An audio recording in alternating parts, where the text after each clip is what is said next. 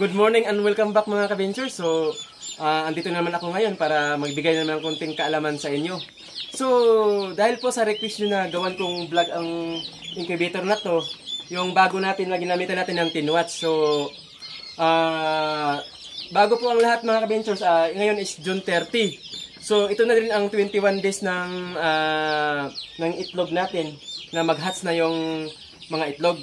So, pero bago ang lahat mga ventures is mayroon akong video nito na ah, nauna na simula umpisa ng ah, 12 days hanggang 18 days hanggang mag-crack at saka hanggang mag-hatch yung ah, sisiw.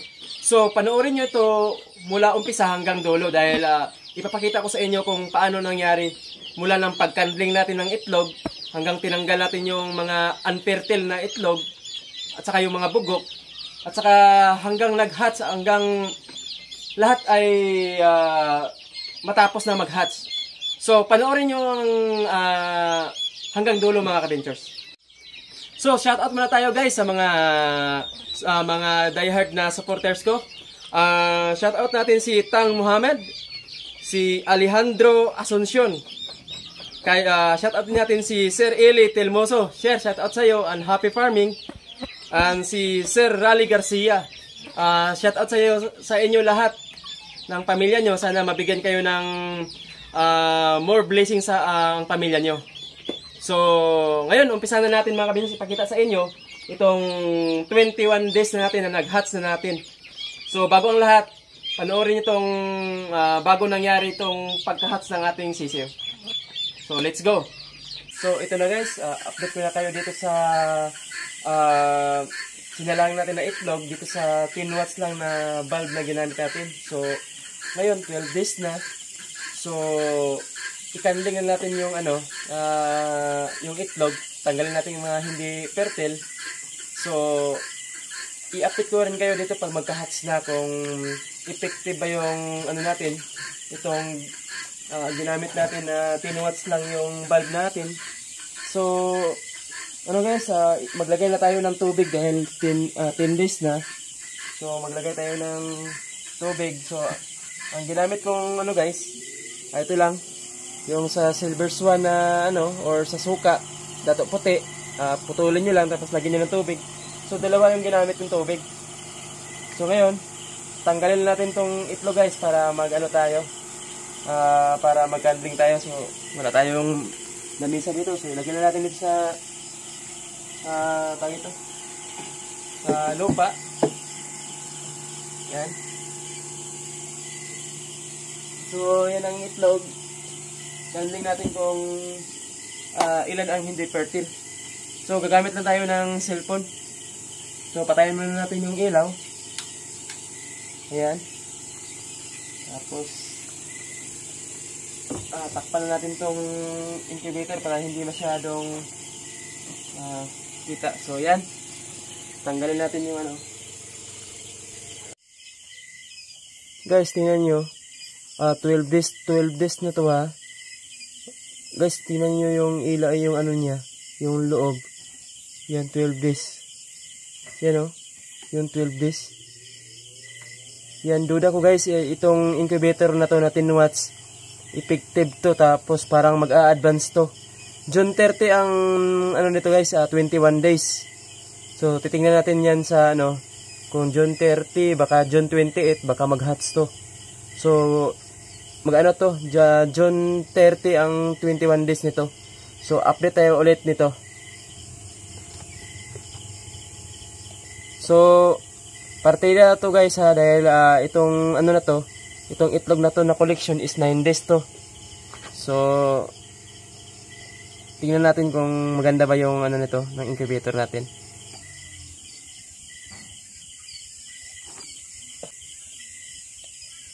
Yan. May patay tayo, may ano tayo. Wala to bugok. Yan, lalo na to. Wala. Nako, wala rin tong laman. Hindi fertile. Ano ito. Yan ito, patay ito. Yan oh.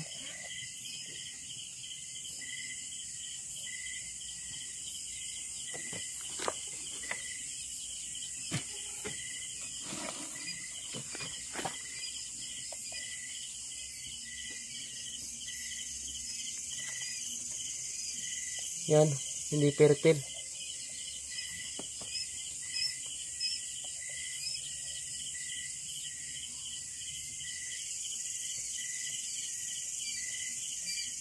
Wala rin to.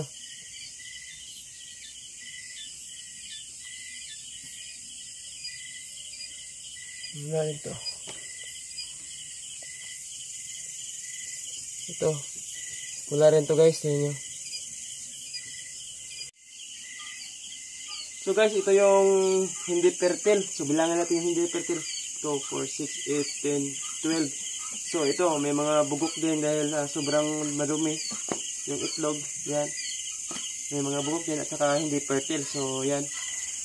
Ah, guys, ang bakit 10 days ako nagka-candling or 12 days dahil double purpose na rin to dahil pwede nyo tong ilaga gawin yung Pinoy kasi ang Pinoy 10 days so pwede nyo itong ibenta yung mga hindi yung mga hindi fertile or mga ah, namatay pwede nyo ibenta or kainin so yan Pinoy na yan so bibilangin natin yung ano guys yung mga ah, good na itlog So, isang tray to. 1, 2, 1, 2, 3, 4, 5, 5, 10, 15, 20, 25, 30. So, 35 yung ano guys, yung ah, itlog na natira natin. So, tandaan nyo, 35 to. So, isa lang natin to. Ito sa 10 watts na incubator natin. So, June 30 ang 21 days nito. So, eh, update kayo dito. Salang natin. Yan o, June 30 ang June 30 yung ano niya. ah 21 days.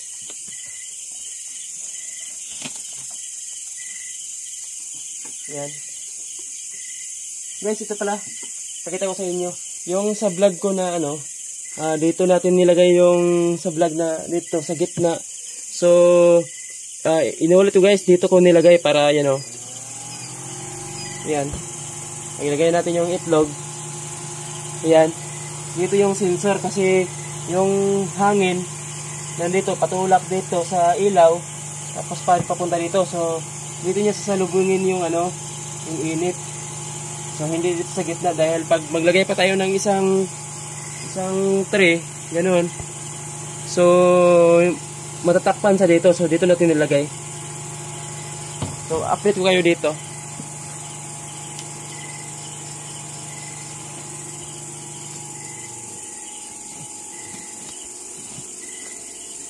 So, ito yung butas ha. Ito, dalawa.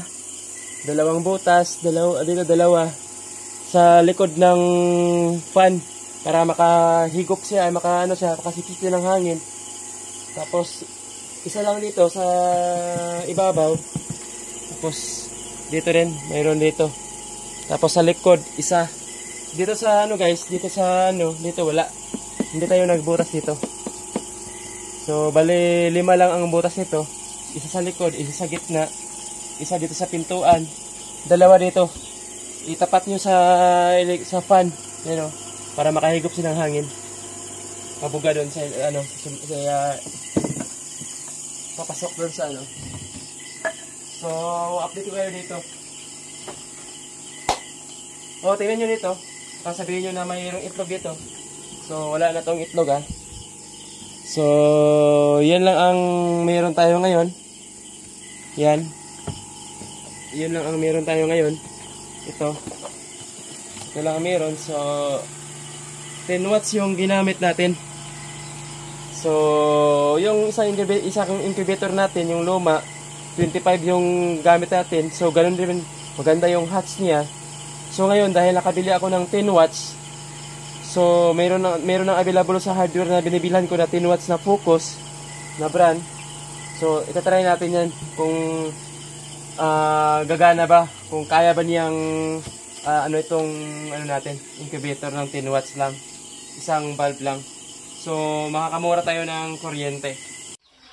So, good morning mga kabinchers. So, update ulit tayo ngayon dahil June 28 na. So, ibig sabihin is ah, 19 days na ng ating ah, itlog na nakasalang sa incubator.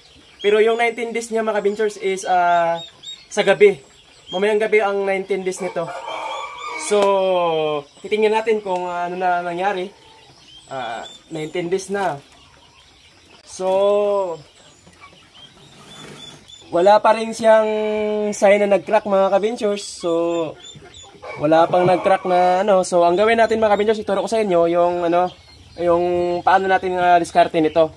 So, mga kabinchers, pag uh, ano, uh, yung incubator na ganito yung ano nyo, uh, gawin nyo, uh, lagyan nyo siya ng ano mga kabinchers, pag uh, dalawang, dalawa ang i, ilagay nyo na isa lang nyo isa 120 or 100 So pag ganito mga kabiyos, pag malapit na mag-hatch, pag mag-hatch na yung ano natin mga kabiyos, uh, tatalon yung sisiw dito, papunta dito sa uh, pisipan. So napaputulan ng paa or uh, ulo yung alaga natin, yung sisiw.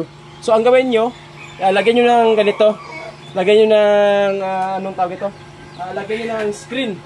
Ito, plastic screen o pangharang para hindi siya tatalon yung sisiw. Tapos, uh, lagay nyo naman ang uh, pang pangalawang uh, egg tray. Uh, ganyan. So, hindi na makatalon yung sisir dahil hinarakan nyo ng screen. So, ito na naman, yung pangalawa ay dito. So, ganun din naman yun. Lagyan nyo ng screen para hindi tatalon yung sisiw. So, ngayon, dahil uh, isang egg tray lang yung uh, nakasalang, so, ang gawin muna natin is uh, takpan nyo natin yung ganito. Yung bakante yung isang egg tray, yung sa lagayan ng itlog, yan. Ilagay nyo. So, hindi na makatalon yung sisiw. Pag uh, isa lang yung ano, yung like 60 lang na piraso ng itlog, so isa lang yung gagamitin nyo. Tapos itakip nyo lang tong isa nyo. So, bagong lahat, ipakita ko sa inyo kung paano ang technique ko. Dahil pag uh, hayaan nyo lang na screen lang, uh, yung mga dumi-dumi ay alikabok ay mapunta dito. So, ang gawin natin is uh, maglagay tayo ng uh, tingka maglagay tayo ng ano mga kabinjors sa uh, ilagay natin yung uh, maglagay tayo ng newspaper so lagay natin yung newspaper to mga kabinjors para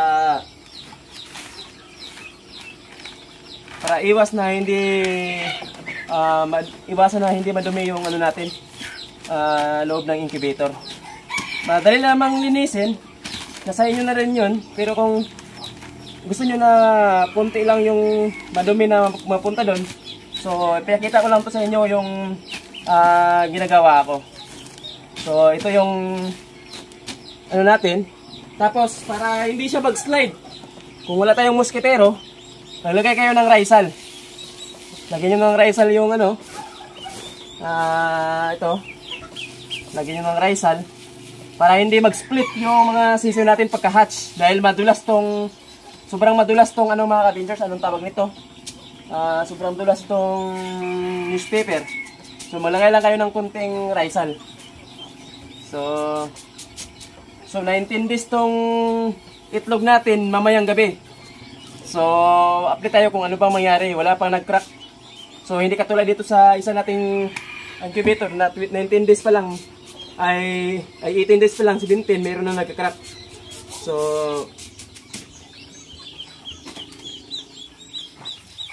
So itong ginagamit ko mga kabins na isa, yung itong itim, is carborizal to. Uh, sinunog na ipa ng palay o risal, sinunog. Para oh, hindi ma maalik, uh, hindi sobrang alikabok. So ang gawin natin, pag nalagyan nyo ng risal yung ano, uh, isang egg tray. So, ilipat nyo lang tong mga itlog. So, ilipat nyo lang to. Ayan. Ayan.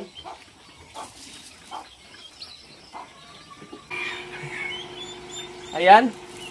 Ilipat na natin lahat ng ano natin sa may ano. So, ang gawin natin is balik rin lang yung isa. Tapos, isa lang yung ano. Uh, ayan. Isa lang natin to. Yan, isalang natin. Isalang natin tong ano natin. Tapos takpan lang ng ano para hindi tatalon yung sisil. So ito yung tubig natin. So magdagdag lang tayo ng konting tubig. Ayan. Konting tubig. Dagdagan natin. Ayan. Ayan. So, update ko kayo mamaya dito. So, baka magtanong kayo. Ah, isama ko na rin to. Hindi tayo nag-change ng temperature ah. Hindi tayo nag-change ng temperature. Guys, ito, update ulit tayo dahil June 29 na ngayon. So, bukas, June 30, i- yun na ang 21 days. So, ah, kagabi hindi ako nakapag-update ng 19 days ng gabi dahil ah, ah, malakas ang ulan. So, ngayon lang umaga ng ah, June 29. So, 20 days na po itong uh, sinalang natin na itlog. So, tingnan natin ano nangyari. So, ito guys, ito na yung 20 days old, uh, ay 20 days old, 20 days na nakasalang natin. So, may nag-hatch na, ayan. So, marami pang nag-crack. So, ah, bukas pa to 20, uh, 21 days. Yan, marami pa nag- nag-crack. So, ito yung sinasabi ko guys na ito, mababaw lang yung ganito. Tumatalon yung uh, sisiyo dun sa ah dito papunta ng fan. So mapuputulan ng ulo or paa yung ano nyo ah sisiyo nyo. So ang gawin nyo pwede nyo takpan nito ganito. Yan takpan nyo na tong ano. So medyo kung mababa lang tong ano natin yung ganito kayo na po mag correct ng ano natin pwede nyo to na gamit ah, pataasan pa tong ganito para hindi siya mababaw. Pero sa akin nilalagyan ko ng screen. So pag ah, kung dalawa yung gagawin nyo na masalangan ng 100 ah, 100 ah, itlog na ilalagay nyo. Pero pag ganyan lang na 60 to 50 lang ang salang nyo ah, ganito na lang gawin nyo. Itakip nyo yung isang ganito. So ganyan so mga kabinchers ah, tanghali ngayon so tingnan natin kung ah, may nag-hatch na ba ulit so napansin nyo yan Ah, yan. So, napansin nyo, marami nang nag, nag-hatch, tapos marami pang nag-crack. So, update natin ulit mamaya. Yan o. May, na, may nag-crack pa lang, yan. So, update natin mamaya ang gabi kung ah, marami na bang mag-hatch. So, ngayon is June 29. So, ngayon is ah, 20 days ng ating itlog.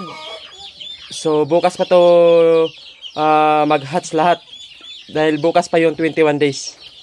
So ito muna yung ano natin ah, update ngayon. So mamaya update tayo ulit.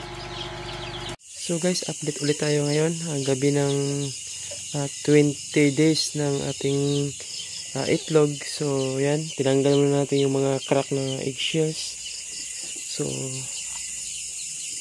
tingnan natin kung ah, kumusta na yung mga sisiw natin dyan. So, ayan. Napansin nyo guys, ah, ah, ito na yung mga sisiw natin. Ayan. So, update tayo ulit bukas kung ilan ba ang hindi nag-hatch dito. So, good morning mga kapinsers. So, ito na yung June 30 ngayon. So, ah, 21 days na ng ating mga ah, itlog na sinalang dito sa incubator. So, update tayo ulit kung ilan ba ang nag-hatch. So, ito, 21 days na. So, pakita ko sa inyo mga kapinters. So, kung napansin nyo mga kapinters, yan, yung mga sisiw natin, pag hindi natin siya ah, lagyan ng pantakip, so tatalon yung sisiw dito at saka mapunta dito sa, ah, sa pan natin. So, ah, maputulan siya ng ulo o paa dahil mababaw lang. So, ang ginawa ko, nilagyan natin ng pangharang. So, ngayon, pakita ko sa inyo kung ah, ilan ba ang naghat sa ano natin. So, ito yung mga eggshell niya. Ito yung mga eggshell na ano natin, ah, tinanggal natin dahil masakit. So, ayan. So, kung napansin nyo yung mga sisyo natin, so na yan. Meron siyang tatlong hindi nag-hatch pero meron tayong tinulungan mga kabinchers. Ito yung ah, ipapakita ko sa inyo. Ito yung ah, ah, disadvantage ng tinulungan nyo na makalabas. Ito, mayroon tayong ah, apat na tinulungan. Isa, dalawa, ah, ito, apat. Ito yung apat ang tinulungan natin. So, ang disadvantage ng tinulungan mga kabinchers, ganito. Mag-split or mahina talaga siya. So, 2, 4, 6, 8, 10, 12, 14, 16, 18, 20, 22, 24, 24, 26, 28, 30, 32. So, 32, 33, 34, 35. So, tatlo siyang hindi nag-hatch. Pero, ito, tinulungan natin itong makalabas ng itlog dahil uh, tuyong-tuyo na yung itlog, hindi siya makalabas. Itong tatlo, walang sign na ma-hatch dahil walang crack. So, yan o. Oh, yung apat ang tinulungan natin. So, mahina siyang, mahinang klaseng ano to. Yan, nakakatayo itong dalawa. Pero ito, uh, ito, delikado to. Mamamatay to, siguro. Yan o. Oh. Kasi pag mabubuhay din to sila, masakitin to. Yan o. Oh. So, ito yung ano natin, uh, sisir na 10 watts lang yung ginamit natin. So, kung napansin nyo, 10 watts lang yung ginamit natin. So, patayin na natin, patayin muna natin to para uh, ipakita ko sa inyo yung uh, patayin na natin. Ah, mainit. Teka. Mainit yung ano, mga ka-venture ko sa inyo, baka sabihin nyo na, ano, so 10 watts yung ginamit natin. Yan, 10 watts yan. Yan o, 10 watts. 10 watts yung nakalagay yan o. So, ibalik muna natin to.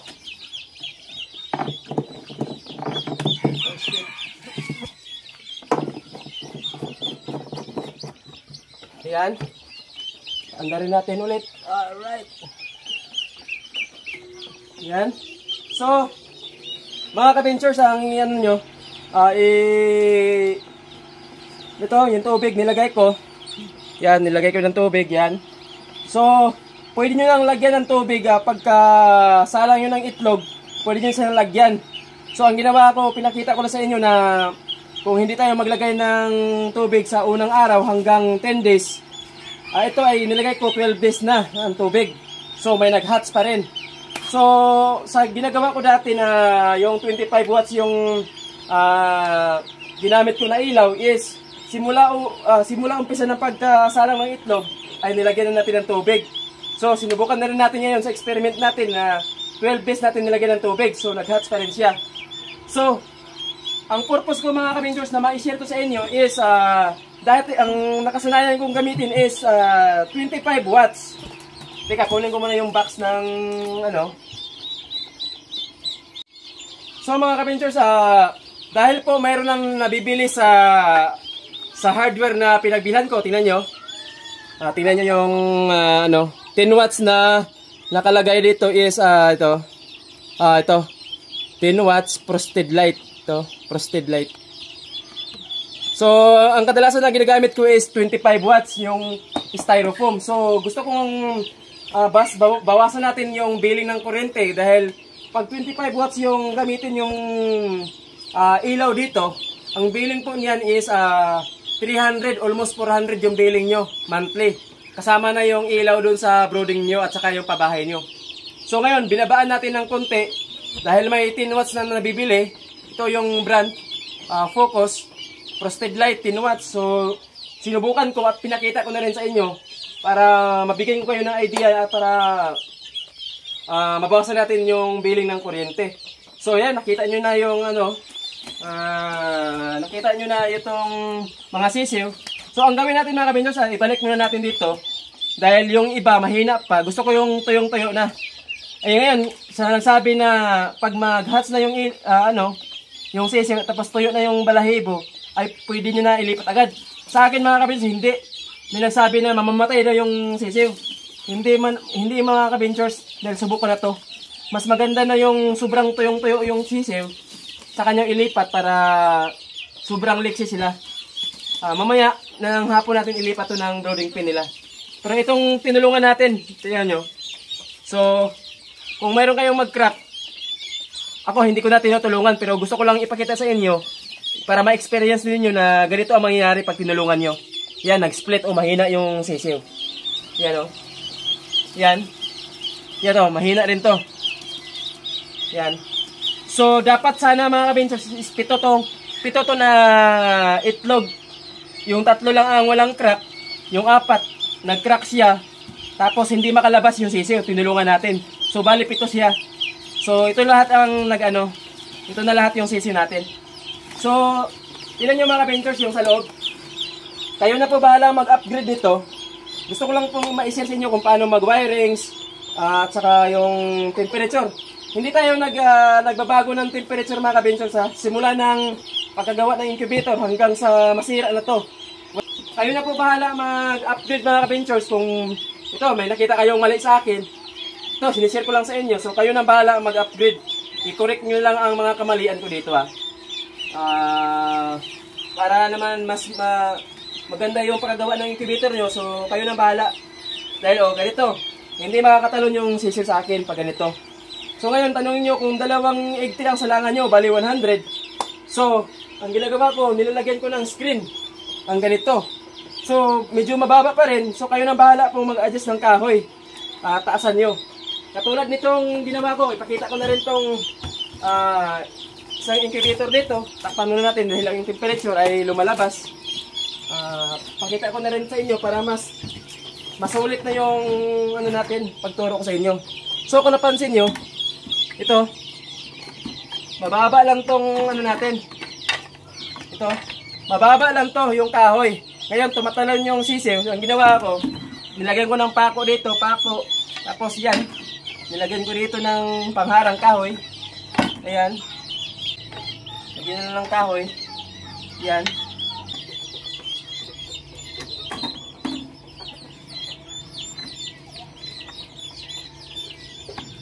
Ito na yung ano natin. Lagyan nyo na lang kahoy. Ito. Lagyan nyo ng pako. Tapos lagyan nyo ng kahoy. Ano? Oh, so hindi na tatalon yung sisiw. Mas lagyan nyo pa ng pangharang dito. So hindi na. So mga ka-Avengers, ah, sana wag yung kalimutang ah, i-share to sa mga kaibigan nyo na bumibili ng incubator na napakamahal. So, ayan, pwede na kayong gumawa ng ah, incubator nyo na DIY. So, kaysa bibili pa kayo ng 5,000, 10,000, 12,000, ito, meron na kayong 120 to 100 capacity na itlog. So, mas binaba ko pa yung bili ng kuryente dahil 10 watts yung gamit natin. So, ayan, kung may mga katanungan kayo, ah, mag-comment lang po kayo or mag-message sa akin ng sa FB page ko. Ah, Michael Ian Venture pa rin yung F- ah, FB page ah, FB page natin. So, ayan, hanggang dito na lang tayo mga ka-ventures. Ah, ah, sunod na vlog, ah, abangan nyo ako dahil ah, pag-usapan na naman natin yung ah, about Pugo, yung pag-usapan natin dahil ah, babalik na po tayo sa ah, mag-alaga ng Pugo dahil wala, wala ng pandemic. So, dati kasi may, mayroon akong Pugo na ah, 4,000 heads. So, ngayon ibalik natin. So, nakita nyo, ito yung cage ng Pugo natin, yan. Yan, ito yung cage ng Pugo natin. So, babalik tayo ulit dun.